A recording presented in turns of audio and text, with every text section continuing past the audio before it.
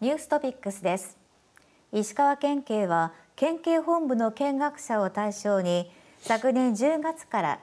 試行運用されている110番映像通報システムを体験してもらう取り組みを始めました。新しいシステムを広め迅速な初動対応につなげます。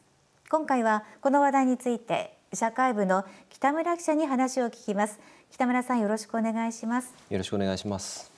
まずはこの110番映像通報システムについて教えてください。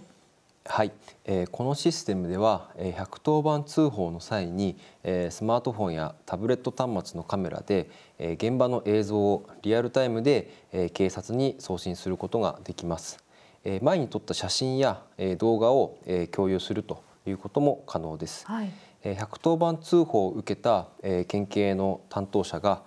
通報者に同意を得た上で専用サイトの URL を送信しましてそこに接続をするとスマホのスマホなどのカメラ機能が起動するというのが基本的な仕組みになります。なるほど。このシステムにはどういった狙いがあるんでしょうか？はい、えっと、まず一番は、え現場の状況を、え素早く、え警察が理解すると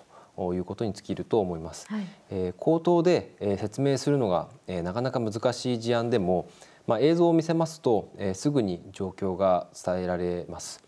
え百聞は一見にしかずということわざ通り、えー、説明にかかる時間を、えー、大幅に減らすことができますので、えー、その分、えー、通報内容を、えー、十分に把握した上で、えー、警察側の初動を早めるということができるという考え方です。なるほど。昨年10月から始まった仕組みだということですけれどこれまでの実績はあるんでしょうか？はい、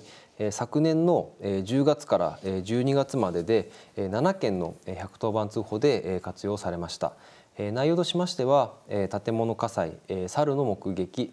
不審者の目撃車両に対する器物損壊事件喧嘩の目撃などになります今年に入ってからは民家の敷地内に飼ってはいけない鳥がいるのではないかということで映像を通じて鳥の様子を確認するという事案もありました映像で現場の情報がわかるのは便利ですよね、はい、見学者に体験してもらう狙いは何でしょうか？はい、何かあった時に新しいシステムを利用してもらうということですね。2月には金沢市緑小の児童が見学に来まして実際に体験をしました。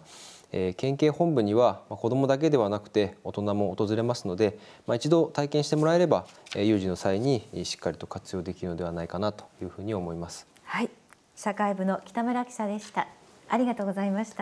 た。